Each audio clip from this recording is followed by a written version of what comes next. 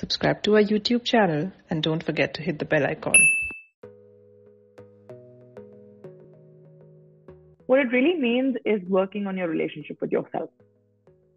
That is what self love is about. Now, there can be various ways which is different for everybody, as defined as working on themselves. Yes. Now, you can't generalize, be like, okay, shopping is working on myself. Maybe for somebody, maybe not for me. Right?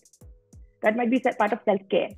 But if there's other aspects of me which need help, so for example, if I have a binge eating disorder, for example, if, if I have a binge eating disorder and I'm telling myself, okay, you know, myself feels good when I eat food. So it's me loving myself when I'm eating food right now. Correct. A lot of people say this now. This is less self love, just giving myself dessert and stuff. Of course, you can definitely treat yourself, eat well, absolutely.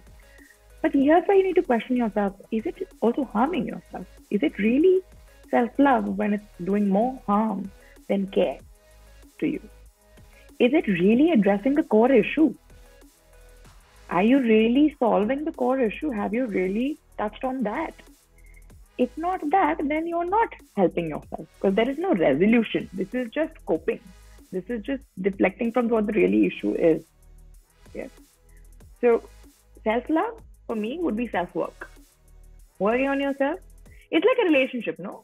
Like when two people are ready to work on it, be it whatever, good, bad, ugly, that is what we call love, no? कि कभी बोले when we say olden time couples कुछ भी हो कोई भी issues हो they worked it through and they got through bad you know ups and downs of life that's love so same thing with yourself your good bad ugly parts of your life of what you're experiencing you being there with yourself and being there with love and compassion to yourself instead of harming yourself during that time is what self love is all about, right?